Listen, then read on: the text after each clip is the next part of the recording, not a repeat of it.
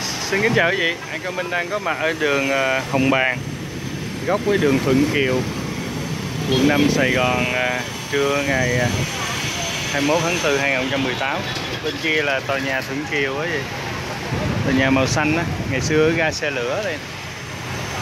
Cắt ngang phía trước là đường Tổng đốc Phương bây giờ là Châu Văn Liêm. Bây giờ cùng với ba má năm đi vô chùa Minh Hương chùa người Hoa nè à, Phước An hội quán. Đi rồi mời gì vô? Viếng chùa nha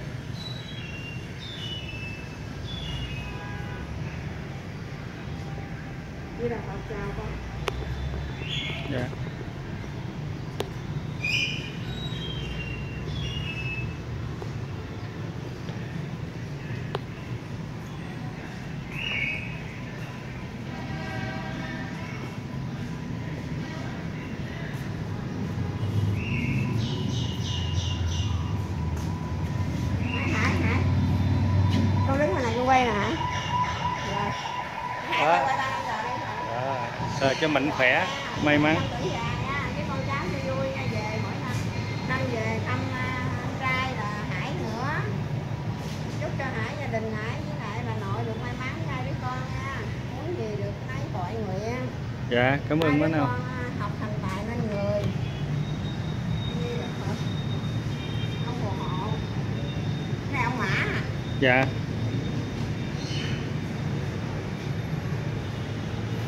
quay ba dạ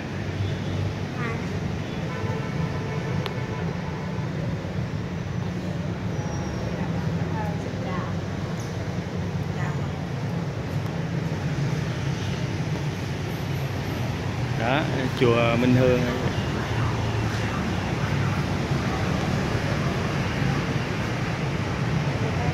Rồi tạm biệt. Hẹn ngày tới ngộ.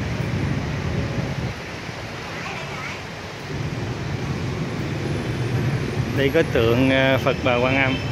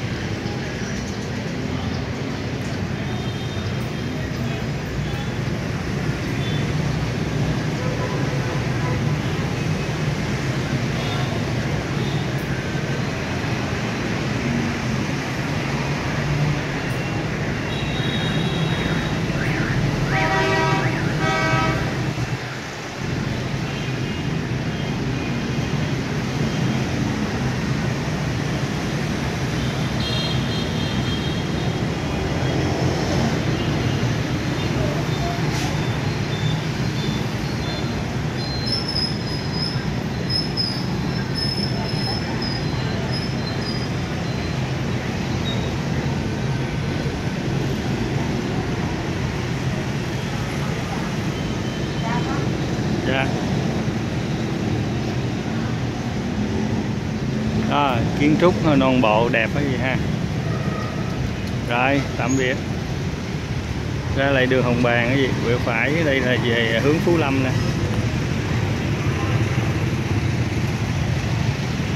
Rồi thank you hẹn gặp lại cái gì? Bye là.